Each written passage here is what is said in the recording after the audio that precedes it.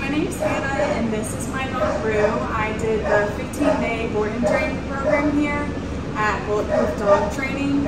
Um, today I'm picking up my dog Rue. This is the first time I've seen her since I dropped her off here. However, I got updates every single day with pictures, videos of Rue's progress.